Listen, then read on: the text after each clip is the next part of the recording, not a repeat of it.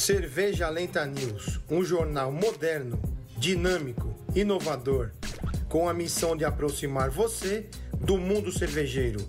De segunda a sexta, pelo canal do Cerveja Lenta.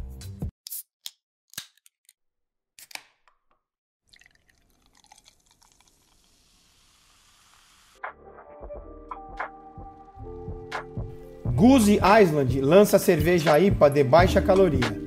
A Goose Island apresenta a nova cerveja Loipa, com apenas 98 calorias, com 40 de IBU.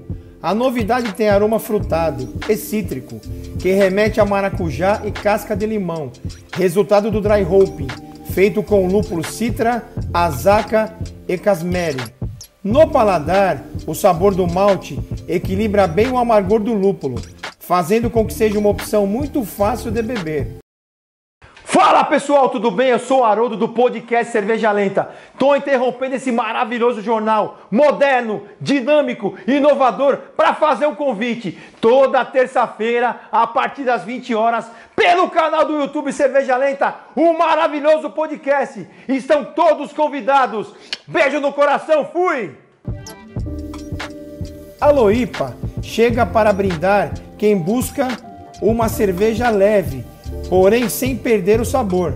Estamos orgulhosos do resultado, que preserva as características de uma boa IPA e traz uma nova possibilidade para as pessoas.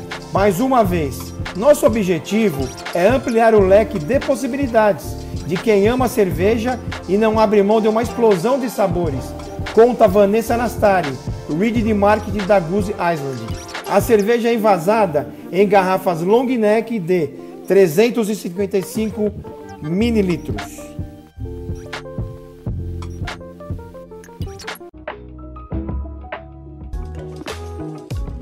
Deixe para lá todas as suas preocupações. Esqueça o chefe, as dívidas, o trânsito. Vá ao seu bar preferido e peça aquela cerveja. Isso mesmo, uma serva bem geladinha, daquelas que a garrafa fica parecendo que está suada e aceite o conselho.